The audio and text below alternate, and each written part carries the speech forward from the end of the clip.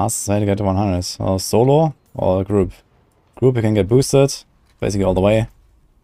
Solo, you farm Forsaken Quarry, which is here right above Kyovashad.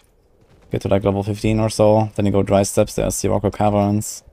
Farm that until like level 40, and then you go Kehjistan, Uldur's Cave. Then like 45 you go Nightmare, and then farm Uldur's Cave until like level 50 or something, and then you farm Nightmare Dungeons to 100. Dungeons are really good.